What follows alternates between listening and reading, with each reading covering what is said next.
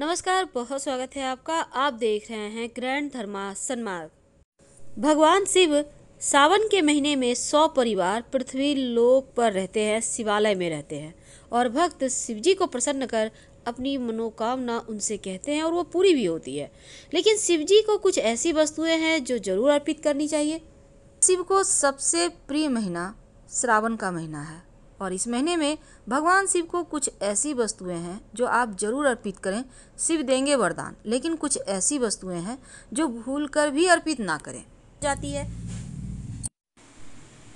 शिव पुराण की विद्धेश्वर संहिता में लिखा है कि श्रावण मास में कर्क राशि में सूर्य के होने पर भगवान शिव के साथ अंबिका का पूजन करें। वे संपूर्ण मनोवांछित भोगों और फलों को देने वाली हैं और संपन्नता, स्वास्थ्य, प्रगति की इच्छा रखने वाले लोगों को माँ अंबिका की पूजा ज़रूर करनी चाहिए श्रावण माह में। तो इस बार श्रावण माह चूँकि रविवार के दिन से प्रारंभ होगा और रविवार के दिन ही समाप्त होगा। ऐसा योग बहुत कम होता है।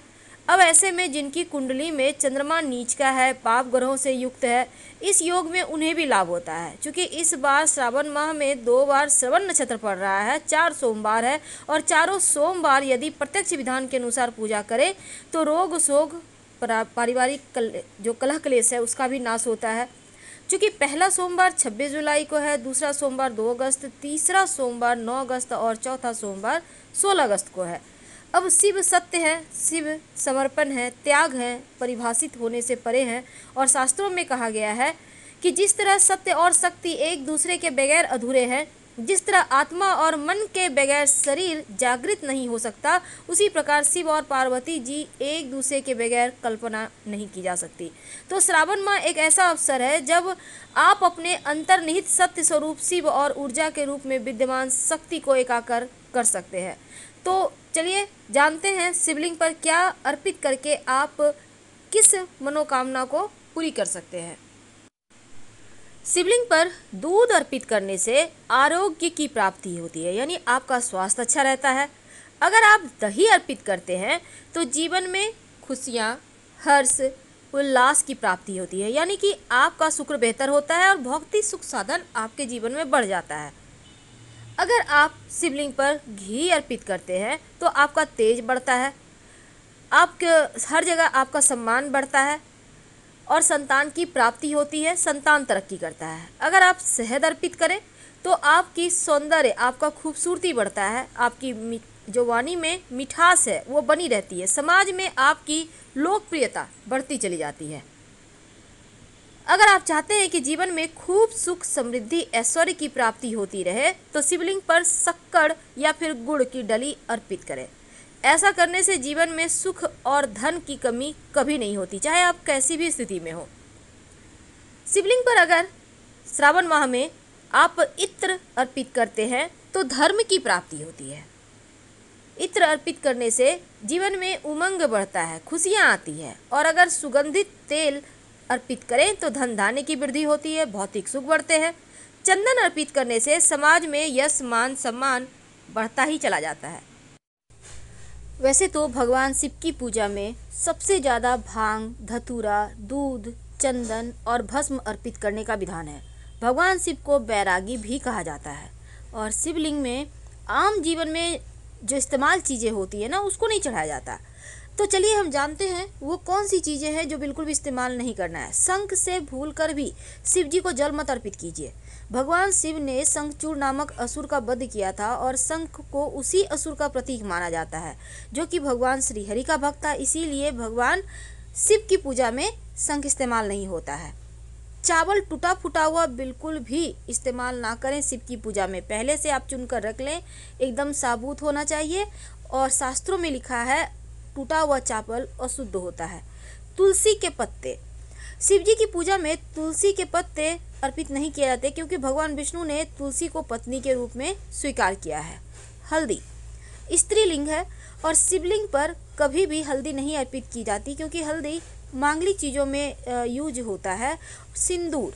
सिंदूर को भी कुमकुम सिंदूर जो सौभाग्य का प्रतीक है और शिव जी बैरागी हैं, इसीलिए शिव जी को कुमकुम अर्पित नहीं किए जाते।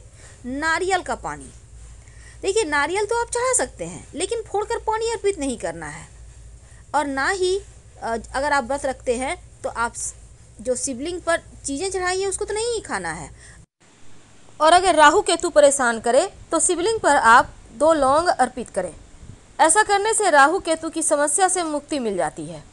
बाद में इस लौंग को उठाकर अगर आप घर में पूजा करते हैं तो पास के किसी मंदिर में रखें या फिर कहीं मिट्टी में दबा दें। शिवलिंग पर अगर आप चंदन अर्पित करें तो समाज में यश, मान, सम्मान बढ़ता ही चला जाता है। चंदन अर्पित करने से मस्तक ठंडा रहता है, आपका चंद्रमा बेहतर होता है। और अगर आप शिवलिंग पर भाँग अर्पित करते हैं तो समस्त पापों का नाश होता है। भाँग के पत्ते भी अर्पित किए जाते हैं शिवलिंग पर, बुराइयाँ समाप्त होती है। अगर आप आंवला अर्पित करें या आंवले का रस अर्पित करें तो जीवन में खुशियाँ आती है। आप दीर्घायु होते हैं। अगर केसर अर्पित किया जाए तो दाम्पत्य जीवन सुखमय रहता है। विवाह में आने वाली अड़चने समाप्त होती है और मनचाहा जीवन साथी प्राप्त होता है। गन्ने का रस अर्पित करने से शिवलिंग पर आपके जीवन में मिठास बढ़ती है, सुखों की प्राप्ति होती है और परिवार के सदस्यों के मध्य प्रेम भी बना रहता है। गेहूँ चढ़ाने से वंश वृद्धि होती है और योग्य संतान की प्राप्ति होती है। एक मुट्ठी गेहूँ अर्पित किया जा सकता है। शिवलिंग पर अगर आप चावल अर्पित करते हैं, एक भी दाना अर्पित कर दें तो जीवन में धन, सुख, समृद्धि की कमी कभी नहीं होगी। अगर काला तिल अर्पित करें तो समस्त पापों का, बीमारियों का नाश होता है। शिवलिंग पर अगर आप बेलपत्र अर्पित करें, जो कि शिव जी को सबसे प्रिय है तो सभी संकट दूर होते हैं। बेलपत्र पाँच जगह अर्पित किए जाते हैं। गणेश जी को, शिव जी को, जलाधारी पर और नंदी महाराज को और शिव जी के माथे पर। अगर आप समी के पत्ते अर्पित करते हैं तो जीवन में बस ये समझ लें कि स्वर्ण दान के इतना पुण्य मिलता है और किसी चीज़ की कभी कमी रहती ही नहीं। इसीलिए जहाँ तक संभव हो, आप जो समी का पुष्प होता है ना ग्यारह समी के पुष्प अगर शिवलिंग पर आप, जैसे कि चार सोमवार है, किसी भी सोमवार के दिन चढ़ा देते हैं तो उसके लिए आपको बस समी के पौधे तक ही जाना है। हालाँकि ये मार्केट में खरीद के नहीं मिलता, आपको किसी पौधे को देख कर रखना है और वहीं से तोड़कर अर्पित करना है। समी का पुष्प अर्पित करने से शिव जी अति प्रसन्न होते हैं। वैसे पत्ते से भी आप काम चला सकते हैं। और जौ जौ अर्पित करने से तो सांसारिक सुखों की प्राप्ति होती है। जौ अर्पित करने से। दुर्वा घास। दुर्वा घास अर्पित करने से दीर्घायु होते हैं। आपका, जो स्वास्थ्य है वो बढ़िया रहता है और आपका जो निगेटिव पक्ष है, यानी कि नकारात्मक चीज़ें हैं, वो भी समाप्त हो जाती है। वैसे तो अगर आप एक लोटा जल में थोड़ा सा कुसा घास डालकर शिवलिंग पर अर्पित करें तो पितृ दोष समाप्त हो जाता है, पितृ लोग संतुष्ट होते हैं और आप पर कृपा बरसाते हैं। कमल का पुष्प अर्पित करने से जीवन में धन, मान, सम्मान, ऐश्वर्य सब कुछ बढ़ता है क्योंकि कमल का पुष्प श्री हरि को भी पसंद है और शिव जी को भी।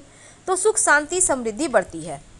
हर श्रृंगार का पुष्प भी अर्पित करने से आपका शुक्र बेहतर होता है क्योंकि यह सुगंधित पुष्प है और ऐश्वर्य बढ़ता है।